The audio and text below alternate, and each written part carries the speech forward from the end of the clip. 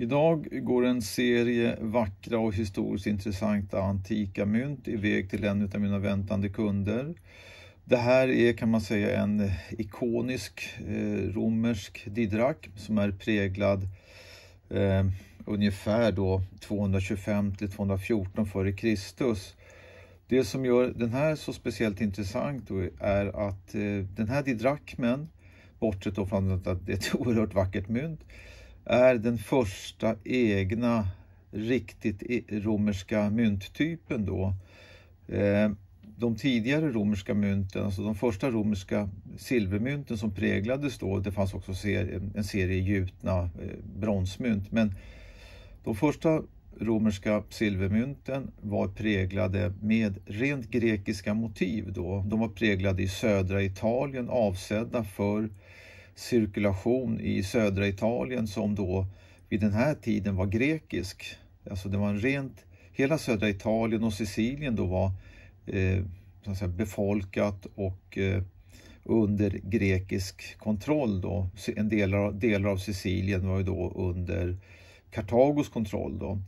Och eh, i samband då med det andra puniska kriget, det vill säga kriget mot Kartago, där den mest, kanske en av historiens, historiens mer välkända härförare, Hannibal, som då tog sig in via Spanien, över Alperna och ner i norra Italien eh, och eh, faktiskt förde krig mot rom, romarna under ett par, nästan ett par decennier på romersk mark då, där han tillfogade romarna flera eh, förnedrande nederlag som i princip fick den romerska staten ner på knäna då. Eh, det här är ett mynt som präglades ungefär samtidigt som det andra puniska kriget då och avbildar den romerska gudinnan eller guden Janus där eh, ett huvud blickar tillbaks på den historia som har varit och ett blickar mot framtiden. Eh, så att det här är då kan man säga en vattendelare i romersk myntning. Fortfarande så är den präglad enligt grekisk standard, den har valören didrakm. Men den här föregick då den nästa stora myntreform då när denaren infördes då, ja, några årtionden senare i början på eh, an, alltså, andra århundradet. Då, va? Och eh, det finns många olika sätt att samla mynt på. Ett sätt är att plocka ut historiskt intressanta tidskapslar eh, som representerar intressanta historiska avsnitt. Då. Det här är ett sådant mynt och dessutom i vacker kvalitet. Eh, om vi tar ett kliv i historien så kommer vi då till nästa intressanta mynt. Marcus Antonius. Det här myntet är uppreglat eh, under en tid, den tiden han befann sig i Grekland då, ungefär 42 f.Kr.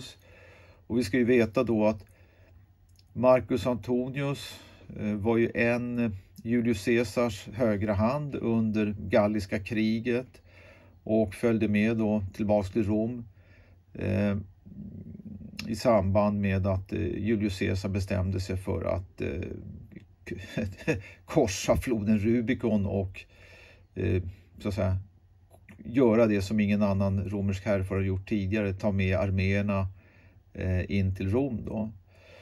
Efter eh, Julius Caesars mord 44 f.Kr. så eh, kan man säga delades makten upp mellan Marcus Antonius och eh, adoptivsonen Octavianus då.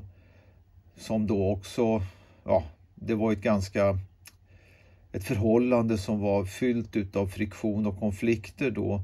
Man delade upp, man beslutade sig för att dela upp det romerska riket i två administrativa hälfter då där Octavianus tog hand om den västra och Marcus Antonius fick administrera den östra delen.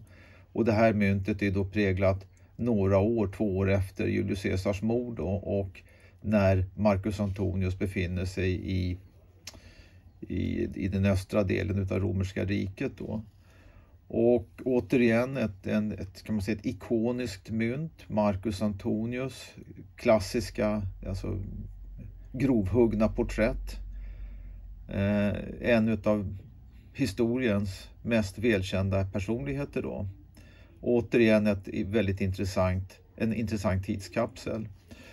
Och om vi då tar ytterligare ett kliv framåt i tiden till eh, kejsar Augustus då som, eh, som, som var då den här Octavianus då eh, som, som var då den som delade det romerska riket med Marcus Antonius efter mordet på Julius Caesar. Han eh, var ju då ja, han besegrade så, små, så småningom så blev det en total konflikt och eh, han besegrade då Marcus Antonius och Kleopatra faktiskt då som eh, också går till historien som ett av världens mest välkända personligheter i slaget vid Actium 31 f.Kr. Eh, något senare då så ockuperar ju då Octavianus då Alexandria där både Marcus Antonius och Kleopatra så småningom eh, begår självmord. Då. Och han då träder fram då som eh, det romerska rikets enväldiga härskare. Och det här är då ett kraftfullt porträtt av då Octavianus när han sedan blev då, eh, kan man säga, informell kejsare av det romerska riket. Och det här myntet är präglat då eh, någon gång 15 till 13 före Kristus i Lugdunum då, nuvarande Frankrike, Lyon då. På baksidan så har vi en, en kraftfull tjur med eh, hans titel Imperator X då, alltså imperator för, för tionde gången. Då. Eh, så att det här blir då sista tillfället att se den här serien på video av tre historiskt mycket intressanta mynt som idag går, går, går vidare till en av mina kunder. Okej, okay, tack ska ni ha.